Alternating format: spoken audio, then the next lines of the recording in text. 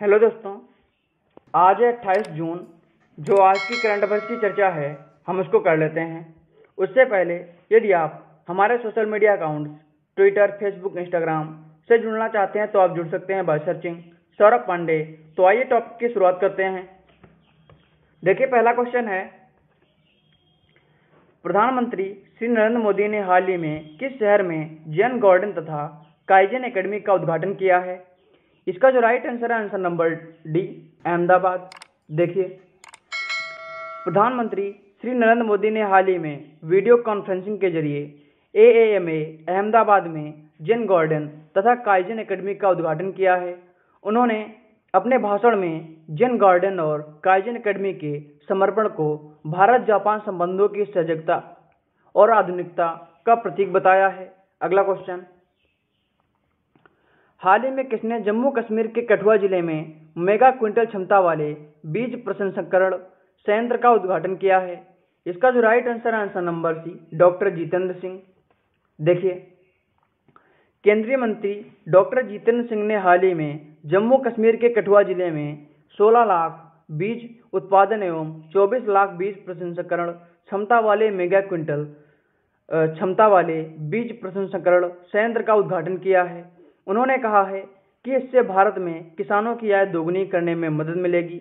अगला question DRDO ने हाल ही में किस राज्य के चांदीपुर तट पर एकीकृत परीक्षण रंज में 122 मिमी कैलिबर रॉकेट के उन्नत संस्करण का सफलतापूर्वक परीक्षण किया है। इसका जो राइट आंसर है आंसर नंबर बी उड़ीसा देखिए रक्षा अनुसंधान और विकास संगठन ने हाल ही में उड़ीसा के चांदीपुर तट पर एकीकृत परीक्षण रेंज में एक मल्टी बैरल रॉकेट लॉन्चर से स्वदेशी रूप से विकसित 122 मिमी कैलिबर रॉकेट के उन्नत रंज संस्करणों का सफलतापूर्वक परीक्षण किया है। इन रॉकेट को भारतीय सेना द्वारा इस्तेमाल करने के लिए विकसित किया गया है। अगला क्वेश्चन भारत में हाल ही में कोविड 19 टीकाकरण का आंकड़ा कितने करोड़ के पार पहुँच गया है? इसका जो राइट आंसर आंसर नंबर है, बत्तीस करोड़। देखिए, भारत में हाल ही में कोविड 19 टीकाकरण का आंकड़ा 32 करोड़ के पार पहुँच गया है। अब तक 32 करोड़ 11 लाख तैंतालीस हज़ार छः सौ उनचास लोगों को टीका लगाया जा चुका है। अब तक हरियाणा, कर्नाटक मध्य प्रदेश बिहार, दिल्ली, गुजरात, महाराष्ट्र, राजस्थान, तमिलनाडु, उत्तर प्रदेश और पश्चिम बंगाल में 18 से 44 आयु वर्ग के 10 लाख से अधिक लोगों को कोविड वैक्सीन की पहली डोज दी जा चुकी दी जा चुकी है। अगला क्वेश्चन तैराक साजन प्रकाश को हाल ही में टोक्यो ओलंपिक के लिए क्वालिफाई करने वाले भारतीय तैराक बन गए हैं। इसका जो राइट आंसर आंसर नंबर है पहले। देखिए, केरल के रहने वाले तैराक साजन प्रकाश को हाल ही में टोक्यो ओलंपिक के लिए क्वालिफाई करने वाले पहले भारतीय तैराक बन गए हैं। उन्होंने रोम में संटे कोली ट्रॉफी में पुरुषों की 200 मीटर बटरफ्लाई में एक मिनट छप्पन पॉइंट तीन आठ सेकेंड का समय निकालकर यह उपलब्धि अपने नाम की है।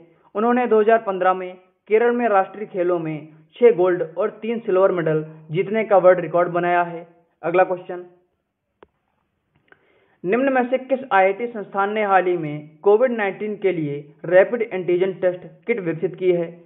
इसका जो राइट आंसर है answer number D IIT Delhi. देखिए। आईआईटी दिल्ली ने हाल ही में कोविड 19 के लिए रैपिड एंटीजन टेस्ट किट विकसित की है, जिसे हाल ही में शिक्षा राज्य मंत्री श्री संजय धोत्रे ने लॉन्च किया है। इस किट को डॉक्टर हरपाल सिंह के नेतृत्व में शोधकर्ताओं ने विकसित की है। वे आईआईटी दिल्ली के सेंटर फॉर बायोमेडिकल इंजीनियरिंग में प्रोफेसर हैं। अगला क्वेश्चन विदेशी प्रजातियों वाले फलों के निर्यात को बढ़ावा देने के लिए ड्रैगन फ्रूट को हाल ही में किस देश में निर्यात किया गया है? इसका जो राइट आंसर है आंसर नंबर बी संयुक्त अरब अमीरात, यानी यूएई देखिए, विदेशी प्रजातियों वाले फलों के निर्यात को बढ़ावा देने के लिए हाल ही में फाइबर और खनिज से भरपूर ड्रैगन फ्रूट जिसे कमलम भी कहा जाता है, की पहली खेप संयुक्त अरब अमीरात के दुबई में निर्यात की गई है। इस खेप को महाराष्ट्र के सांगली ज़िले के तड़ासा गाँव के किसानों से मंगाई गई थी। इस ड्रैगन फ्रूट का वैज्ञानिक नाम हाइलोसिरे सुंडाटस है। अगला क्वेश्चन। निम्न में से किस देश के स्वास्थ्य मंत्री मैन हैनकॉक ने हाल ही में अपने पद से इस्तीफा दे दिया है? इसका जो right answer answer number B Britain देखिए ब्रिटेन के स्वास्थ्य मंत्री मैट हैनकॉक ने हाल ही में अपने सोशल डिस्टेंसिंग के नियम तोड़ने का आरोप की वजह से अपने पद से इस्तीफा दे दिया है। उन्होंने अपना इस्तीफा प्रधानमंत्री बोरिंग जॉनसन को भेजा है, जिसमें लिखा है कि इस महामारी में आम लोगों ने जितनी कुर्बानियाँ दी हैं, उन्हें देखते हुए अगर हम उनके साथ कुछ गलत करते हैं तो हमारी ज़िम्मेदारी बनती है कि हम ईमानदार रहें। तो आज का हमारा टॉपिक यहीं पर समाप्त होता है। फिर मिलेंगे आपसे किसी अन्य टॉपिक पे। तब तक के लिए गॉड ब्लेस यू ऑल